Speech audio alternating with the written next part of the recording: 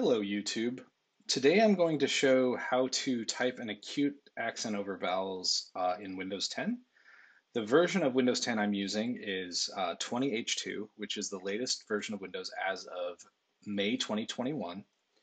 Um, and the good news is that if you have a stock install of Windows with the uh, US keyboard, it seems to work out of the box these days. Um, later in the video, I will show you how to set up the international keyboard in case you're running an old version of Windows. Um, but sort of out of the box here, um, I'm able to type these keys. So I'm just going to show this in the search bar. The way that you do this is you hold down the control key. While you're holding the control key, you press the single quote key. So control single quote, and then you let go of both of those keys, and then you type the vowel that you want. So there's an acute um, E. So uh, there are some caveats here. So notably, if I open up Notepad um, and I do Control single tick E, it doesn't it doesn't actually um, write the accent mark. Um, Notepad's kind of a legacy app, so maybe that's has something to do with it. Uh, it. This does work in like Word. So for instance, if I open up Word, I can type some stuff here. Um, so I can do all of the vowels here.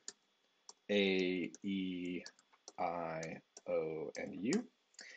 And I can type something in Irish. So let's do the classic Tá mé go maith.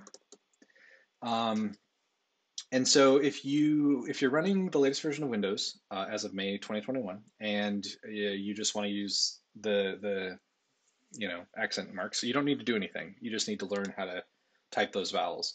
If you're running an old version, you may need to install the international keyboard.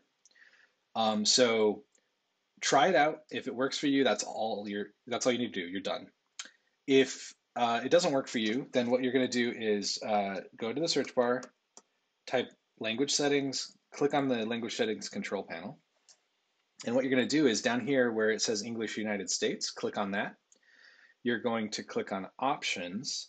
And then at the bottom of the window, you'll see that there's a keyboard list and the US key, QWERTY keyboard's installed.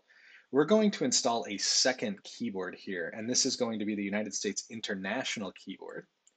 And what you'll see is at the bottom of your start bar here, um, you can switch between the keyboards. And actually, if you mouse over this, it says to switch input methods, press Windows space.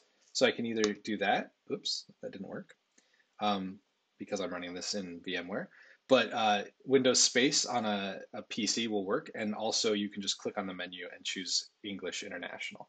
Um, now, make sure that this is selected correctly because if it's not, you won't you won't be able to do that if that's if that's the issue for you. Um, and then again, Control single quote together, and then let go of those keys and press your vowel. And that's really all there is to it. Um, I'll see you in the next video.